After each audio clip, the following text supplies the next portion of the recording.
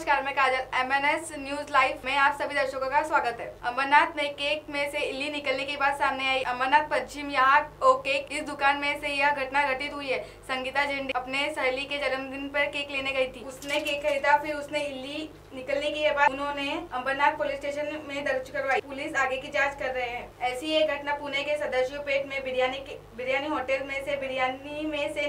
इल्ली निकलने की बात सामने का एक वीडियो दुनिया भर में वायरल हो रहा है दोपहर को एक ग्राहक के प्लेट में से इल्ली बाहर निकल आई यह अपने बाहर के कर्मचारियों के सामने लाई यह बात को लेकर पुणे के नागरिकों में खड़बड़ का माहौल है इसके विपरीत होटल वालों का दावा है कि ये उनके खिलाफ षड्यंत्र है M N S Hindi app download करें और इस चैनल को सब्सक्राइब करें धन्यवाद